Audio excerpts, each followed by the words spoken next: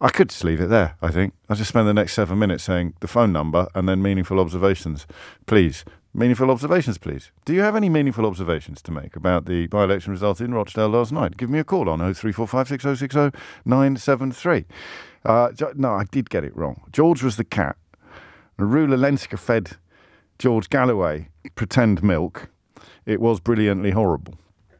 Okay, so you may have gathered from my tone that I am not taking this by election result desperately seriously, uh, not least because Labour didn't have a candidate campaigning. So what it tells us about big pictures, I don't know. But don't please let any of this prevent you from ringing me immediately with your meaningful observations. Oh three four five six oh six oh nine seven three. So I, I liked this. It's posted on Twitter by someone called Tom Freeman.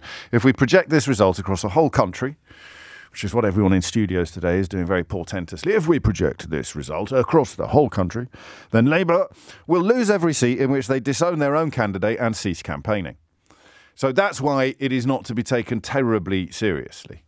There is a, a, an almost Faragian streak of self publicity in, in George Galloway. It, it was ever thus. He, he, the man can speak. I don't know if you ever saw him uh, giving evidence, I think, to a Senate committee in America when he was, for fans of oratory, and listen, I know his record is, is in many ways, to many people, pretty rancid. Uh, Nick did a fairly good job of reminding you of his greatest hits, George Galloway's greatest hits, for want of a better phrase. But the but but the man's oratorial skills, oratorical skills, are, are quite impressive. And uh, the only thing more, if you like, impressive than his oratorical skills is his capacity for self promotion and making everything about him. And that is what he has done in Rochdale. And it, it has been successful. But if we were to look for meaningful observations, I think we would have to see this as quite an odd end to the political week because it has been a political week defined in many ways by the Conservative Party's problems with Islamophobia. The Conservatives' very real and continuing problems with Islamophobia. I don't know if you were listening yesterday when we had our regular monthly phone in with the Mayor of London, Sadiq Khan, but if you weren't, just allow me for a moment to tell you that I had never seen him like that before. I've, uh, and I, I, I interview him every month, as you know, or rather you do. I, I, put your calls to him every month. And he alluded to, to, to, the fact that I sometimes ask him why, off air, I ask him why he is not more vocal about the filth that he endures. I mean, you will have seen some of it on social media, but trust me, the stuff that actually makes its way into the public arena is is nowhere near as bad as the stuff that doesn't. The security levels that he is at, because of threats from both the far right and Islamist fundamentalists, are, I think, I think the highest of any politician in the country.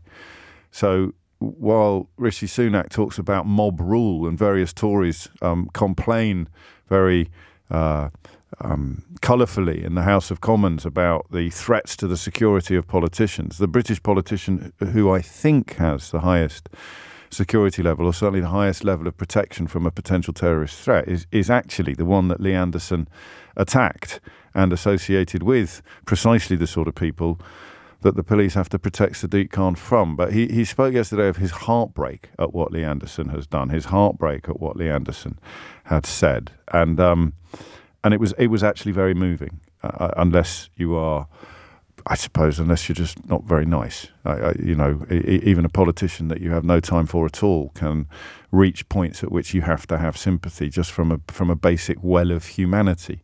I remember feeling sorry for Jacob Rees-Mogg when when there was a mob protesting on his own doorstep and his children were inside. There there are some behaviours that I think should transcend almost all party politics. There are a couple of politicians I, I, I, would struggle to feel sorry for in most circumstances, but but never in all circumstances.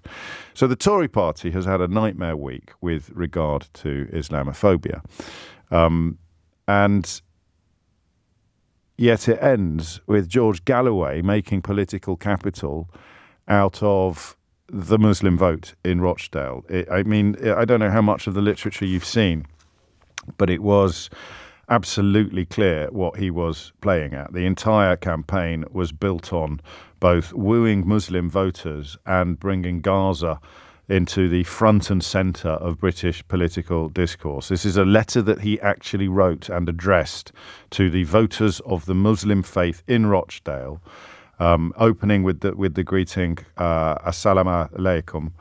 And he wrote, The last 130 days have shocked the Ummah to the core uh, to its core. The killing of thousands of our brothers and sisters in Gaza is a war crime, and Israel must be held to account.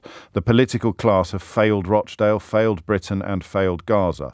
I expect as much from the Conservative Party, but the Labour Party under Sir Keir Starmer have betrayed Muslims, choosing instead to support Israel's genocide in Gaza. Now, that is not normal business and neither is it very pretty politics. We know that the general election, when it is finally called this year, is likely to be the ugliest ever, certainly the ugliest in living memory. And we perhaps didn't know in full until last night that the Labour Party in particular was going to be coming under attack from both sides. You're going to have the Islamophobic Conservative Party, where ministers cannot properly describe what Lee Anderson has done wrong because to do so would be to describe exactly what Suella Braverman has done as well. The Islamic uh, Islamophobic Conservative Party will be coming after Labour, while George Galloway and his ilk will be coming after Labour for not being supportive enough of Muslim people. This is a really hideous moment, you know because that describes an impossible political riddle. And if I were a Muslim, I'd be quite concerned about the way in which I am being turned into a political football that the people kicking don't really care about. So the Tories think that there is electoral capital to be accrued by accusing Labour of being too Muslim and and as people like Lee Anderson have demonstrated, they're supremely comfortable conflating Muslim with extremist or conflating Islam with Islamist. It's a disgusting and dangerous practice, but 30p Lee and his mates have decided that it is it's worth doing. And then you've got George Galloway and his mates who've decided that there is political capital to be accrued by attacking Labour for in their words, being complicit in genocide in Gaza. And I just don't, the only thing I don't know, there's lots of things I don't know. I, I, don't know how successful an electoral gambit it will be for the Tories to, to go all in on the culture wars like this, even though I'm not sure they have much choice. The only thing I don't know is how big George Galloway's gang is. So there are posters going up in Ilford, in, in Wes Streeting's constituency in Essex, which say a vote for Labour is a vote for genocide. The appeal to Muslim voters in constituencies where their numbers are high is going to be grim. It's going to speak directly to the heartbreak and horror that millions of us feel at the unfolding events in Gaza, where yesterday Israeli troops opened fire on Palestinian people who were queuing for food. That, that, that's a statement of fact. Because there are no journalists on the ground, there's room for confusion about precisely what happened, with the Israeli government claiming that the shots were fired because the starving Palestinians were stampeding the, the, the, aid trucks, claiming that, that most people dead were run over by trucks or crushed by each other. A doctor at the hospital to which most of the casualties were taken uh, says it looks to him like most of them were shot, but because there are no journalists or precious few journalists allowed into the territory, um, it's, it's, it is impossible to be absolutely 100% clear about what happened. But we do know that Israeli troops opened fire on starving Palestinians uh, crowding an aid convoy. And stories like that have become commonplace in, in the last few weeks. Stories like that have become, I don't think they'll ever be normal, but they have become commonplace in, in the last few months. And that's why there is a lot of emotion to appeal to.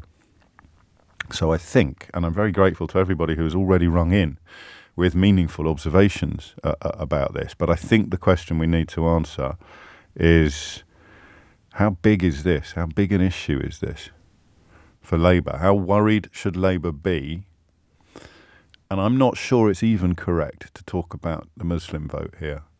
How big an electoral issue is Gaza going to be for Labour? Now, I'm a little bit biased on this. I, I catch myself immediately reaching for damage limitation from, from Labour's point of view, not over the situation in Rochdale, that's a complete anomaly, but over the bigger picture. I, I, find myself thinking that the numbers aren't big enough to move the dial. The kind of people minded to ring me and tell me that this is a huge problem for Keir Starmer and he's definitely not going to get my vote because of what's going on in Gaza, we're actually never going to vote for Keir Starmer at all. Or if, if you were, you would do so in the way that many people from the centre of the Labour movement voted for Jeremy Corbyn. You would do so while holding your nose. But it hasn't actually moved your needle at all. All it's done is, is, is confirm or embed your previous position. But I don't know, you see. That's my biases kicking in. I would like to believe that although I believe Keir Starmer should have gone further and faster with regard to calling for a ceasefire in Gaza, I would like to believe that it's not a matter of major electoral concern for him and his party because the main alternative in most constituencies in, in England and Wales, the main alternative in most constituencies in England and Wales, would be the Conservative Party, who have moved less far and slower than the Labour Party on this issue.